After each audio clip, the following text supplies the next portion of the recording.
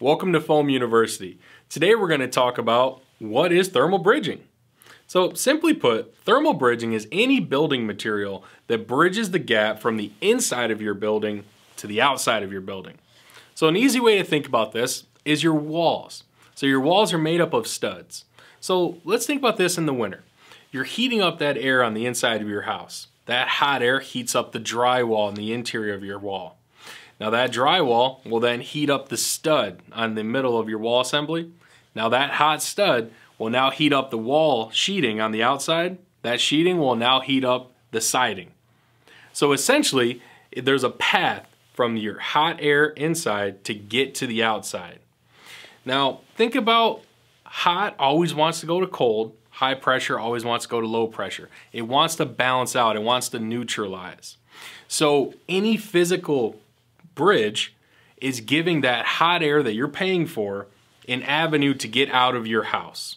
Okay, now conduction is usually the fastest way for this to happen. Now, once that drywall warms up again, you have a straight conductive connection from the inside to the outside. So that's thermal bridging in a nutshell. Now, on your house, usually where you see this the most is on a cathedral ceiling. So same situation, drywall, stud, sheathing, in this case shingles or whatever your roofing material is.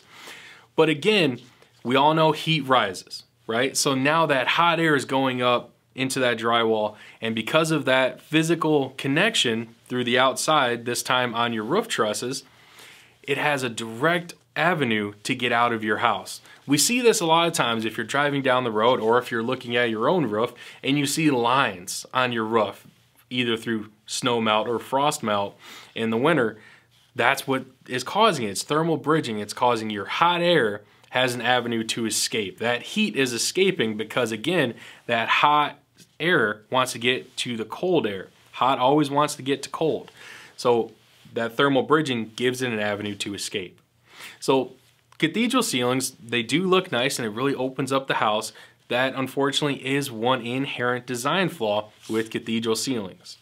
Now there are a couple ways to combat thermal bridging. Usually that's in the form of continuous insulation, such as foam board put on your sheathing during like a roofing project or when the house is first built.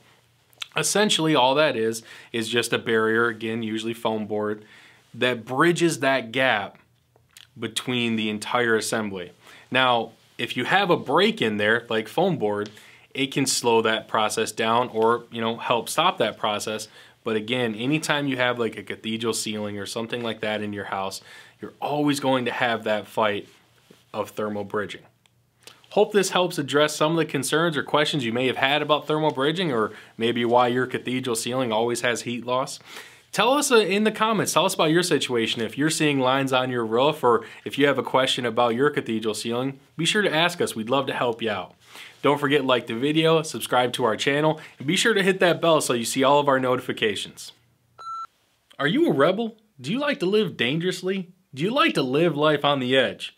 Go ahead and like this video and share it with all your friends, like seven times a day. Like I said, life on the edge.